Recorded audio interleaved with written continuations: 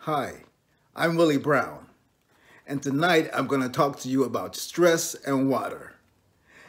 Now, you're probably saying, what in the world does stress have to do with water? Well, check this out.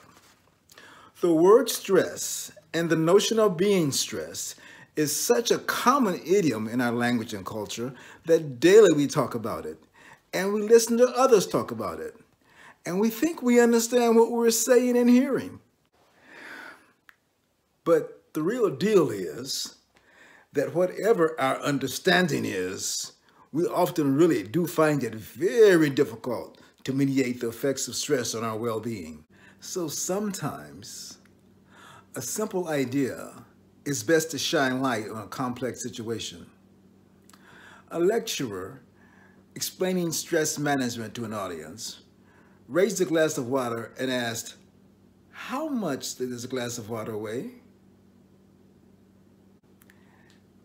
Answers were called out from 20 grams to 600 grams. The lecturer replied, the absolute weight doesn't matter. It depends on how long I try to hold it. If I hold it for a minute, not a problem. If I hold it for an hour, I'll have an ache in my left arm.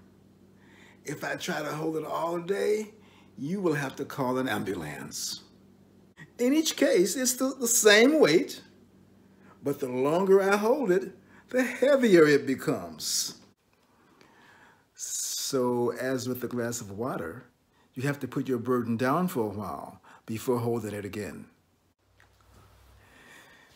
Then, when you are refreshed, you can pick your burden up again and carry on. So, before you return home, before you leave here, whatever burdens you're carrying, put them down, let them down, and relax. Put down anything that may be a burden to you right now. And don't pick it up again until after you have rested for a while. Remember, it's the strong tree that bends in the wind.